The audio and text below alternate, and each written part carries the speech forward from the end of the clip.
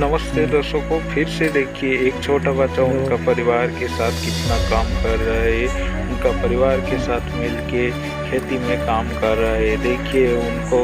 कितना छोटे छोटे हाथों में छोटे छोटे पेड़ों कितना काम कर रहा है आइए देखिए उनका पेड़ पूरा विजुअल आपके सामने ये देखिए